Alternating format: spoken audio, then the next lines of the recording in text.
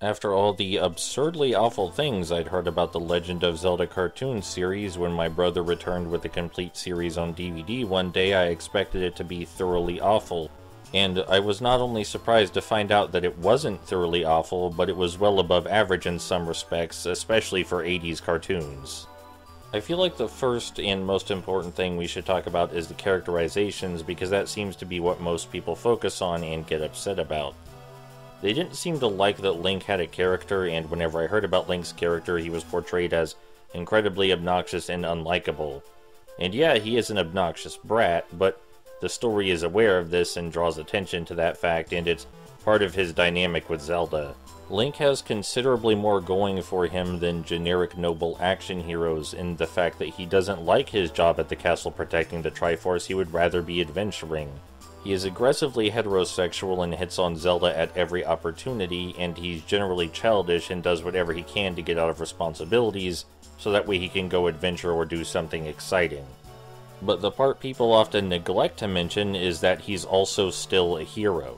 Yeah, he jokes around a lot and he's incredibly sexual and childish, but whenever someone's in danger, he immediately runs to the scene, regardless of any danger or consequences involved where his own life is concerned. When the chips are down and someone needs rescued, he is absolutely the most selfless person imaginable.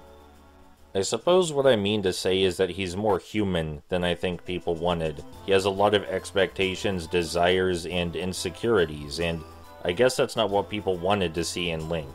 I'm not saying Link behaves perfectly like a real person would, but he behaves more like a person than his video game counterparts, and he's a selfless hero when he needs to be, and when he doesn't need to be, he's incredibly flawed.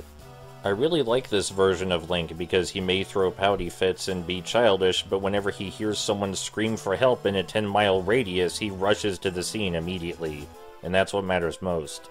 Now that we're done with the characterization of Link, it's time to move on to the cartoon itself, and this is very much an action cartoon.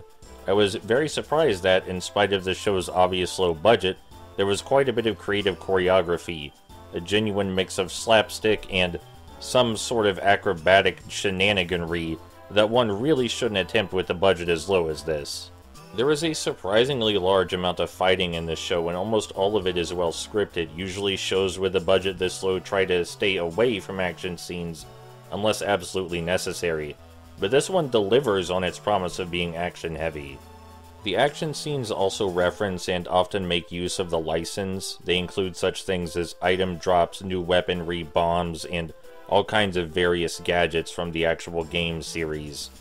It generally enhances the show and makes the action scenes more engaging. And perhaps most importantly, unlike a lot of other 80s action cartoons, the villain feels like a genuine threat. He comes close to victory in many episodes, and there are a lot of times where the heroes either lose or nearly lose. The show keeps itself from getting stale in the long run by introducing various adaptations of Hyrulean magic and some light world building, and it's just all around a slightly above average action cartoon, not nearly the train wreck that people made it out to be. And ideally, that's where this video would end. It's an above average 80s action cartoon where the action scenes are incredibly well scripted and choreographed, the characterization is well above the average for the standard cartoon hero of the time period. And uh, there's some light world building mixed in to keep things entertaining if you're not all that enchanted by the action. For the first six episodes, at least. I have no idea what in the hell happened after episode 6 because they didn't change writers or directors, but suddenly the show takes a sharp downward turn. Voices start coming out of the wrong characters, the voice actors start reading the script wrong, the animation gets noticeably worse, the stories become more juvenile, Link's character is dumbed down to nearly half of the depth it once was, and he starts using his catchphrase at least three times per episode. And suddenly the show just becomes that awful thing everyone warned me about. In summary, if you watch episodes 1 through 6, hey, it's a pretty okay action cartoon, especially for the 80s. But if you watch past episode 6, I guess I'll let Ganon sum up my feelings on that.